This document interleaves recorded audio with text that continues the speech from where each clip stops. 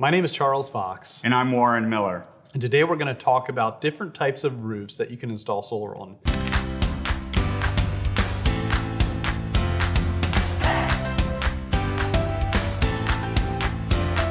Probably the most common for a home is going to be a shingled roof. Typically, your home is going to have a shingled roof. And Warren, explain a little bit how that works in, in a solar application. Yeah, thanks, Charles. What we do on shingle roofs is we have a flashing attachment, and the flashing goes underneath the shingle, so you really don't see it. It is uh, attached to your purlins or your trusses with a lag bolt, so there is a roof penetration, but the, it's a great way to install solar on a shingle asphalt roof. Yep, and it should be mentioned, we've installed hundreds of solar projects on shingled roofs, and safe to say we've had none, if any, leaks. on- Yeah, I would say roofs. it's probably the most common application here on the, in the northeast mid-Atlantic area of the United States. Another roof is a flat roof. Typically, it's going to be either rubber or some sort of membrane. And in those applications, we use a ballast system. And a ballast mount means we're going to add a weight to keep the roof or to keep the solar from being able to lift off. What that does is it adds additional weight. So your roof is going to have to be able to support that additional weight load. But a flat roof also works great. It should be mentioned though that on a flat roof, you're probably going to need a little more surface area because you need to make sure you space out your rows because we're going to tilt the panels. And when we tilt the panels, we don't want the there to be interrow shading.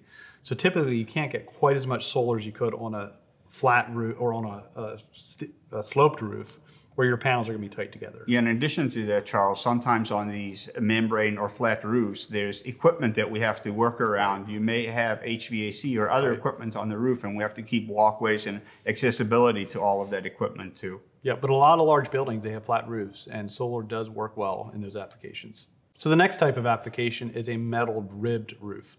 And those also work well for solar. There's a little foot that's made that gets mounted right maybe over the rib or between the ribs where you can lag into the truss or into the purlin and on the bottom of that that foot is a rubber bushing. And so when you seal that down, when you when you draw in your screws, it seals off the bottom, therefore not allowing any water to get in in those holes that you just drilled. Yeah, and then finally, which is also a metal roof, are, are standing seam roofs, which are uh, really ideal for solar because there's no roof penetration. The clamp clamps directly onto the seam, and then we attach the railing for the solar to the seam uh, Yeah. of the roof. One last note that you should be aware of if you have a roof that has an existing warranty, it would be good for you to check with the installer or either the manufacturer to make sure that by putting solar on the roof, you don't void or, or it's a detriment to your existing warranty. So make sure you check that out before you put solar on. Hope you found this video helpful.